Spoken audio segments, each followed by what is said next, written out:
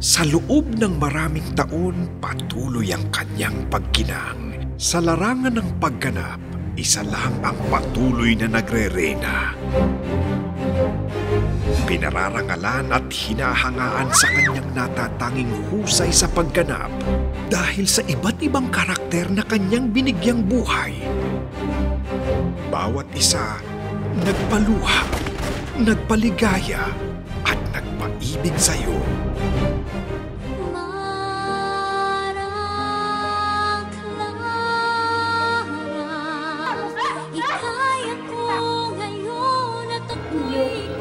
Namatay ang tunay mo, anak. Ako mo, tuso, anak.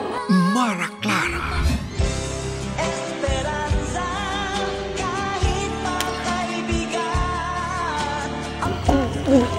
Ganun-ganun na lang. Iwan.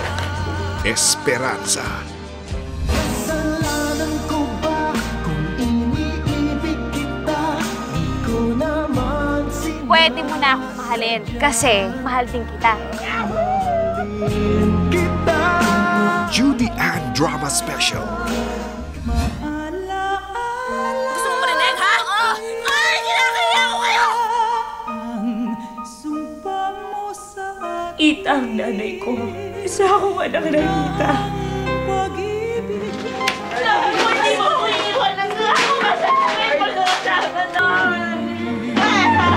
Maalaala mo kaya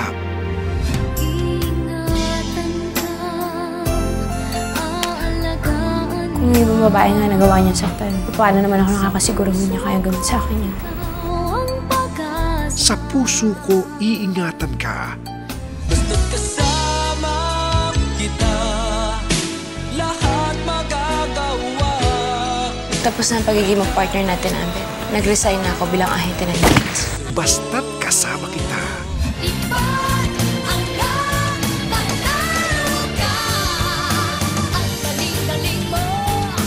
Kapangyarihan ng kristal!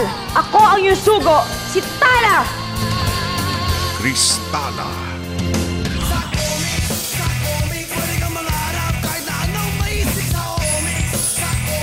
Sino man ang may gawa nito?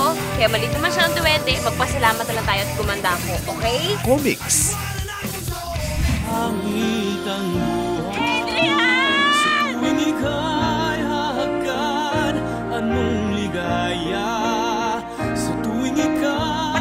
Ko, ipupusta ko para sa'yo! Kailangan gawin yun Dahil ganun ako magmahal! Sa piling mo.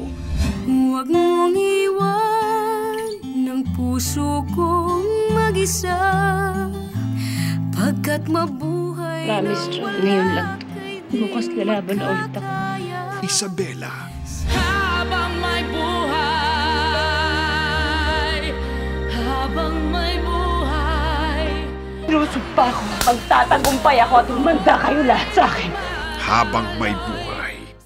In celebration of 60 years of Philippine television, sabay-sabay tayong magpugay sa nag-iisang reyna ng Pinoy soap opera, Miss Judy Ann Santos. Magbabalik na siya bilang Anisa. You know, I think I'd be a better mom than you. Hinayaan kong lingkisin mo yung asawa ko, pero sa pagkakataon to, pag sinaktan mo ang anak ko, ako makakalaban mo. Hindi mo siya pwedeng tignan o hawakan, naiintindihan mo ako? Huwag ka lang mawawala ngayong Hunyo na sa ating ABS-CBN.